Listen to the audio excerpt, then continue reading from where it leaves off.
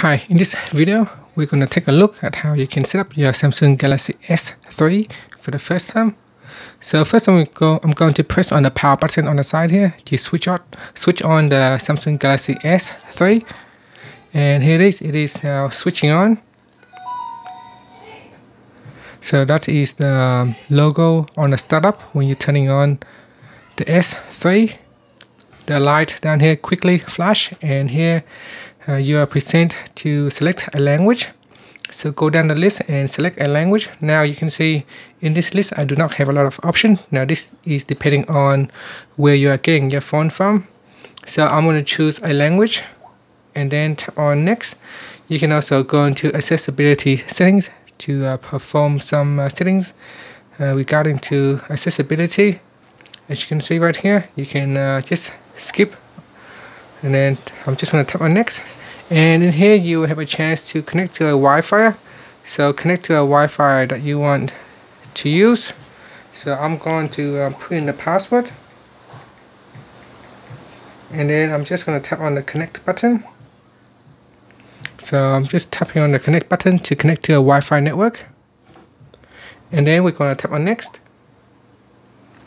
next you have a chance to sign in to a Samsung account you can either sign in with an existing account, you can create a new account, or you can tap on the skip button at the bottom. So I'm going to tap on skip. Now again, you have a chance to sign into your Google account. Uh, you need to sign into your Google account sooner or later if you want to download any apps. So if you have an account, tap on yes, otherwise tap on no. You will have a chance to uh, create one later on. So say here, get an account. If you don't want to do it right now, just tap on not now. And then tap on next. Now you can name your device. So I'm just going to name my device and then tap on next. And then it's got um, Dropbox here. You've got a 50 gigabyte Dropbox account for two years. So if you want to use, you can uh, sign in to use it or you can uh, simply skip. And then that is the device name. So by default it is your first and last name and then the model number GTI 9300 you can change it if you want or just leave it by, by default. And then tap on done tap on finish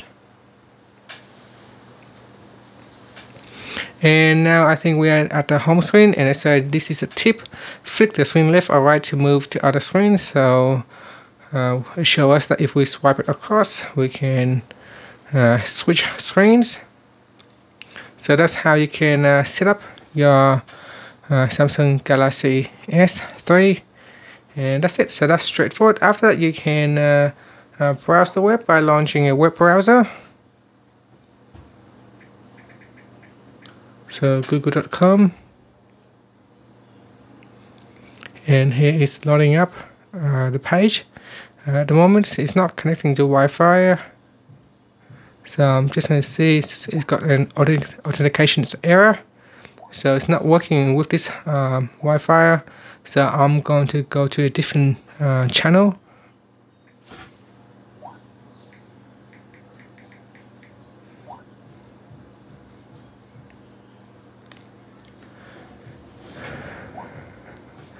And here we can uh, try it. So I do have an issue with this uh, device when I um, uh, load it with a different ROM. Uh, Wi-Fi not seem to work and you can't seem to connect to Wi-Fi uh, on this device. And you can use everything else uh, as normal, per normal. That's the internet. And then you can uh, make phone call. After setup, you can uh, directly make a phone call. Uh, you can go into settings. So there's a lot of tips every now and then it shows up to show you how to use the device uh, you can use camera camera is not here by default but if you tap on apps and then if you tap on camera you can use uh, camera so that's the camera right there and what else can you do? So you can pretty much um, use anything that you want. Emails you can see this email uh, you got messaging here.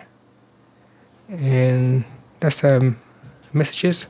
And if you want to go to emails you tap on apps and then tap on email. And then from here you can set up your email account. If you're using like gmail services or yahoo you can download the apps. Here you can see you got gmail already installed on the phone so you can straight away uh, use gmail. Just have to sign in and you are good to go uh, with email. And if you need to sign in uh, you can swipe down and tap on the settings icon. So you can uh, go into accounts up here and then add account. And in add account you can add in google account. Adding in google google account will allow you to use email allow you to download apps from play store. So before you can download any apps from play, play store you need to uh, to sign into your google account. And that's it. That's how you can uh, set up your device uh, briefly. So there's a lot more settings that you can do depending on what you want to use with your phone. But this is the initial setup that allows you to quickly use your phone make, by making calls. And that's it. Thank you for watching this video. Uh, please subscribe to my channel for more videos